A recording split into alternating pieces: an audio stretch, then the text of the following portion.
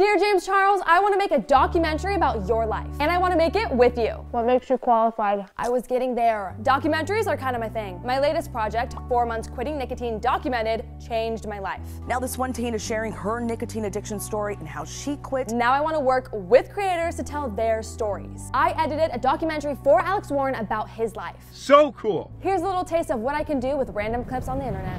Were people like trying to cancel you basically? I don't want to talk about that any further. I just want to move on with my life. As you know, over the past couple of months, I have been offline. This has been some of the most important months in my entire life in terms of personal growth and self-reflection. I've been doing social media for almost six years now, which is wild. Very special guest this morning, James Charles. This is actually my first Billboard Music Awards. Being a member of the LGBTQ plus community, I obviously want to be a role model for my young fans. What makes you different?